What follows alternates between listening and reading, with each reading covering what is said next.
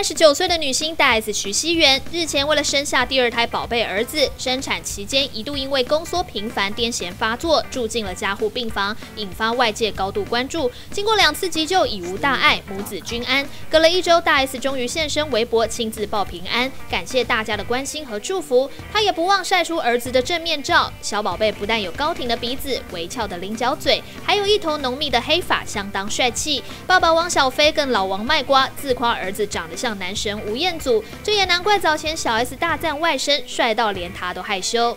游子万事足的汪小菲近日也加入了炫娃行列，他分享了女儿汪希月抱着弟弟的照片，一家人幸福洋溢，羡煞旁人。据说小月儿每天回家都会温柔的抱着弟弟，从来不争宠。而他一脸淡定的小大人模样，也被说像极了大 S 和汪小菲的小时候。